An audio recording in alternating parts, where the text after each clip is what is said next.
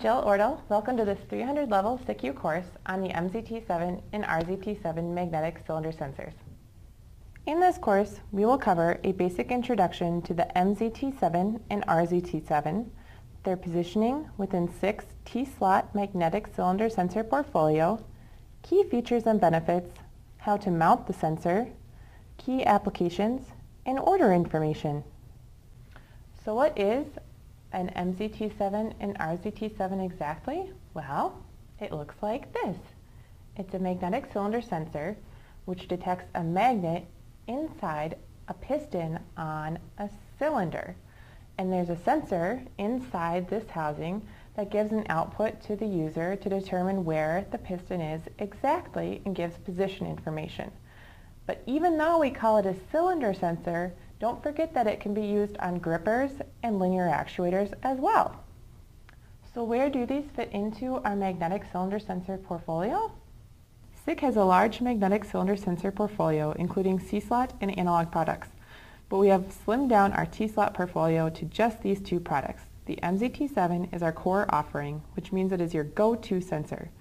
This is where you will always start. The M in MZT7 means solid state, so NPN or PNP and R for RZT7 means reed. The T7 family offers the awesome combination screw and drop-in mounting as well as universal fit. If these features won't quite cut it for your application, then we have the next step up in the prime family of the MZT8. Just to reiterate, the T7 family is your starting place for standard applications. The T8 family is the next step up if you need it for more demanding applications. Next, let's discuss some features and benefits.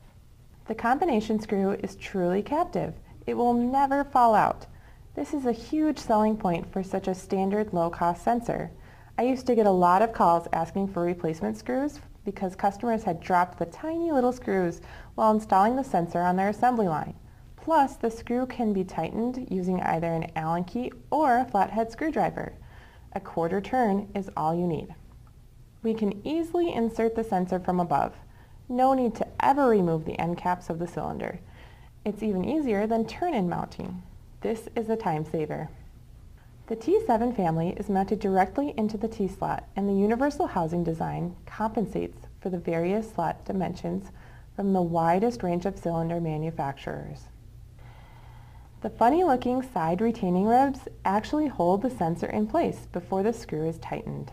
This saves a lot of time during installation. Next, let's talk about setup. So here's the MZT7, and setup is really simple. We simply do drop-in mounting to a cylinder from above, and it's not going to fall out due to those retaining ribs.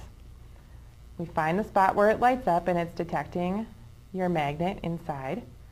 We can use either a flathead screwdriver or an Allen key. Quarter turn is all you need and it is not coming out of that slot.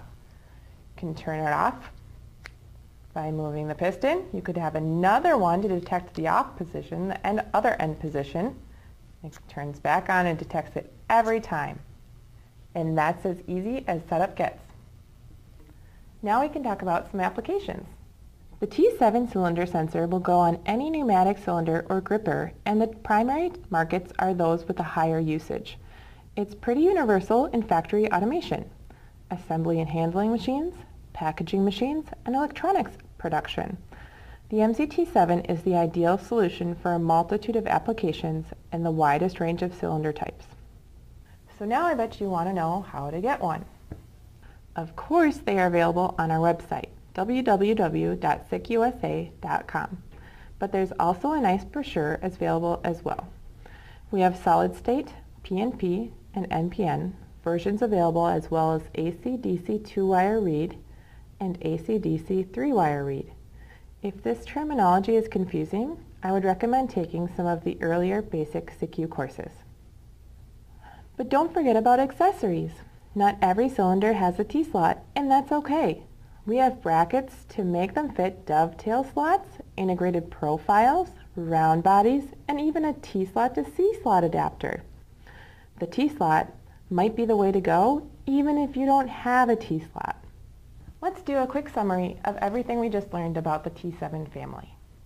Going back to the basics, the MZT7 refers to our solid state and the RZT7 refers to the reed options of our new T-slot magnetic cylinder sensor family.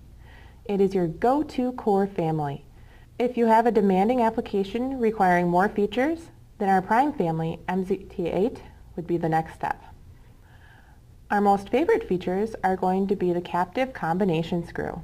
This means that the screw can't fall out. No more phone calls to me. And the combination part means that you can tighten it with only a quarter turn using either an Allen key or flathead screwdriver, whichever you have handy. The retaining ribs actually keep the sensor in the slot so it doesn't fall out. And the universal housing design means that we fit almost everybody's cylinders, slides, and grippers. And guess what? Those are the industries we are targeting. Most common in factory automation assembly and handling machines, packaging machines, and electronic production. Don't give up if your cylinder doesn't have a T-slot. That's just the beginning of the story.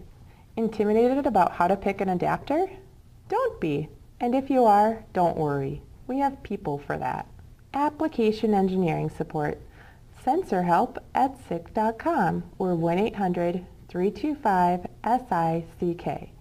And you can call and talk to real people on the phone. Thank you so much for your time and attention.